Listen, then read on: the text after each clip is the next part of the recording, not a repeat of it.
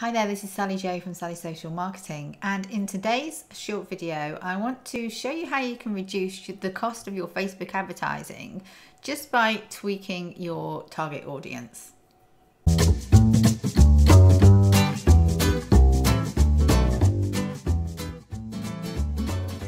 So here's the thing, if you don't get your targeting right, this is what's going to happen. You'll get no engagement, no likes, no comments, no shares. And that means Facebook will think your ad is no good, ready for the bin. And that means you're going to get charged a lot more for that advert. And you don't want that. So the trick is to make sure your targeting is absolutely spot on. So you get all those lovely comments and shares and Facebook reduces the cost of your ad and happy days. Okay, so how do you do this? Well, I'm going to dive straight into Facebook and show you some of the things that you can do. So let's pretend that you sell vegan ice cream and you're looking to promote it using Facebook and perhaps Instagram as well. One of the first things I recommend that you do is that you nail down who you want to target because Facebook is going to ask you for that information when you come to create the ad. Okay, so what do you need to do first? We're going to pop into Facebook right now and I'll show you exactly what you need to do. Okay, so the first thing you need to do is log into Facebook and you want to head down to um, manage ads and this will take you into your ad manager. Once you're in your ad manager, you need to pop up here to the hamburger menu and then you want to select all tools and then audience insights. So if you're having trouble or you're not achieving much success with Facebook, what happens is a lot of people say, oh, Facebook doesn't work. In actual fact, what's happening is the targeting's not correct, or it might be the creative, the images that you're using, or the video that you're using in your ad might not be matched up to your audience. So don't throw the baby out with the dishwater, as we say. Go back into Facebook ads or certainly the ads manager and come here, come into the audience insights menu and go through the work that I'm about to show you. So just going back to our business, we are selling vegan ice cream. So what we can do in audience insights is start to build up a profile of our audience that we want to target by accessing the database that Facebook has collected over all those years of people who have shown an interest on Facebook to vegan ice cream or um, businesses that are offering something similar. And what we can do is we can look at the profile of those people, but also have a look to see some of the other things that they're interested in. And then we can use that information in our targeting. So once you're in Audience Insights, it's going to pop up with a selection here to choose an audience to start. You want to click on everyone on Facebook. Okay, so what you've got in front of you here is this just defaults to the Facebook global profile of all the people on Facebook. On the left hand side it's where you can input all your criteria for the types of people that you're looking for. And then the right hand side of the screen, this is going to bring back the information or the data within Facebook. So the first thing that we need to do is I want to look at people within the United Kingdom. So in order to do that, I need to remove the United States. And that's going to clear that field. And then I want to input United Kingdom.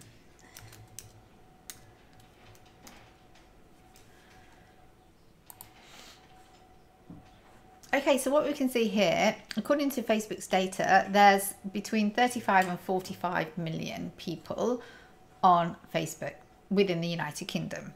Now, my target consumer, my ideal customer, because I've done my homework, is a female and she's aged between 25 and 34. So we're going to select that age bracket here and she is female. So what you can see here is that Facebook has brought back some data to say, okay, you've got 25 to 34 year olds within that selection, and they actually count for between four and a half point four and a half to five million people. So there are four and a half to five million females within Facebook or on Facebook within that age profile of 25 to 34 year olds. So that's a good start, okay. But we want to look at people who are specifically or have shown an interest within vegan nutrition. So let's start with that first. We don't want to market our vegan ice cream to everybody. It's only going to be really interesting to those people who've shown an interest in veganism. Yeah. So one thing we can do is in the interest interests field here, we can type in vegan, and as you type, you'll see suggestions being um, displayed by Facebook. So we've got a couple here. We've got veganism, vegan nutrition, go vegan, etc. So if we select one of those items, let's see what happens. So I'm going to select veganism. Now, as you can see, things are happening over here in the right hand side. And that's brought our audience down to 1.5 to 2 million people. So this is saying that within Facebook, there are up to 2 million people, and this is not exact, but broadly speaking, there's about 2 million females within that age group who have specified an interest in veganism. So we could say, okay, that's great. That's who we're going to target our ad to. So a couple of things that you can do here is you can save this audience to use later and then you can drop it into your ad when you're creating the ad. And this is a really good thing that I encourage my clients to do because you're doing the work up front and it just saves time later on.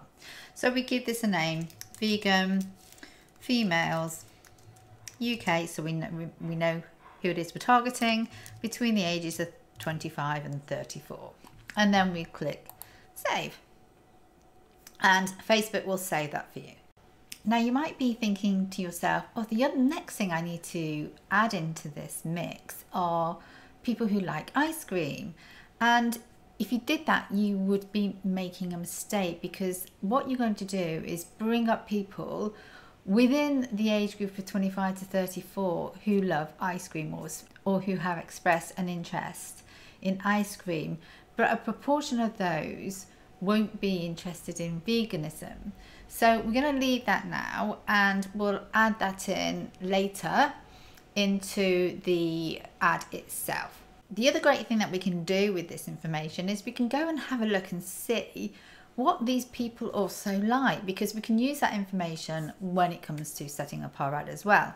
And it's always good to build a profile of your ideal customer or your audience as you're building your marketing plans because you need to be so targeted in order to keep your costs really low.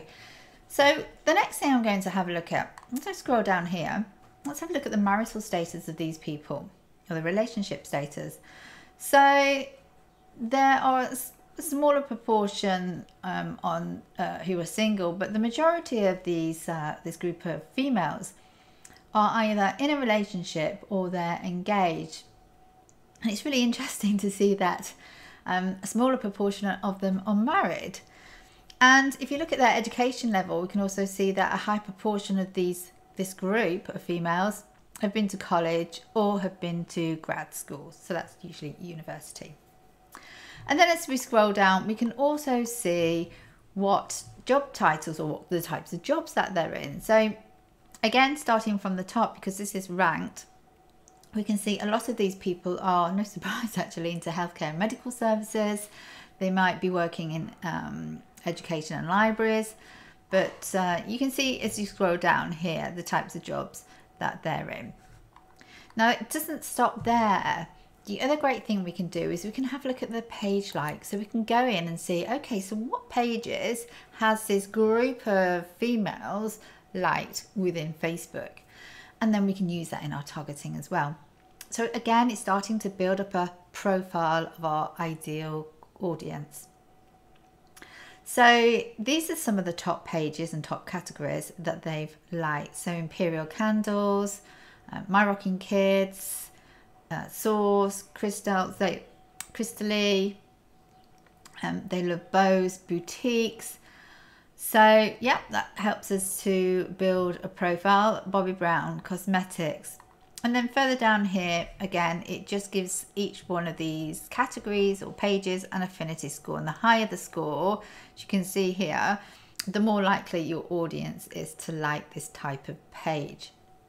Now, one thing I like to do is to go into these pages and just have a look at the types of things they're posting because if they're liking this content, it tells me that they, if I produce similar content, then they will potentially like my content as well.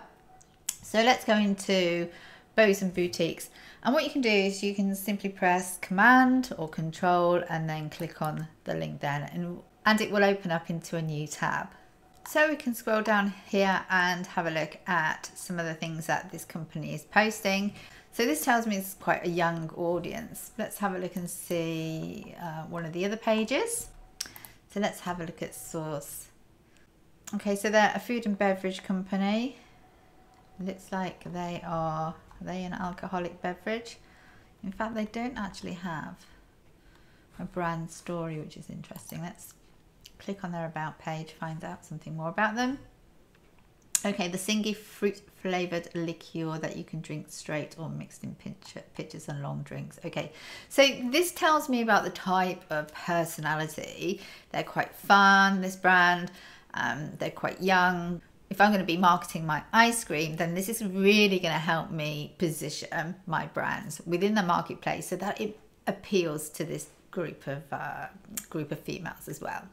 So what do you do with this information? Well, first of all, you can take a screenshot or write it down and make some notes. That's what I like to do. I like to build up a customer profile rather on a sheet of paper and then I've got that. And then when I come to create my ad, ad I can drop in this information. So I'm going to show you how to do that now. Okay, so I'm in one of my ad accounts and I'm going to create a new campaign. So the first campaign that I would always encourage you to run if you need to build your audience is a like campaign. So I'm going to send traffic to my Facebook page for them to like it and then I'm going to engage with them once they're on there and then I can do some further marketing with them. Okay, so the first thing that I need to do is decide what my marketing objective is going to be. And for a like campaign, we need to select engagement. Now you might create a different objective, but for the purposes of showing you how to drop in your target audience, I'm going to use this engagement objective. So we're going for page likes. We'll just leave that campaign name as it is. And then we're going to set up ad account. So the first thing it asks for is your ad set name. I'm not going to go into how you complete a ad setup in this video, but um, for the purposes of showing you this target audience uh, video, I just want to give you a bit more information. So normally the ad set, well, the ad set name refers to the audience group. I'm going to leave that blank for now and come back to that. I'm going to select a Facebook page and we are going to select a an audience. So I'm going to use a saved audience and that's my vegan females that I created earlier on. What we need to do is narrow this audience down. So we're not targeting just people who are interested in veganism, we're also going to target people who are interested in veganism and ice cream. So they have to match both of those sets of criteria. In order to do that, you need to come down to narrow audience, and that's what we're doing. We're going to narrow the audience down. So we simply type in ice cream. Then we hit select and update the audience. So what this is going to do is send our ad to the people specified within the age bracket, but also to people who are interested in veganism and ice cream. Okay, so let's see what that does to our overall audience size. It brings it down to just over half a million people. Okay, once we've got the ad working for us, we can then push it out to more people. But I think that's a really good target audience to aim for. And that's going to help us reach somewhere between three and just over eight and a half thousand people a day. So hopefully that explains how important targeting is, and but how easy it is once you've got a bit more information.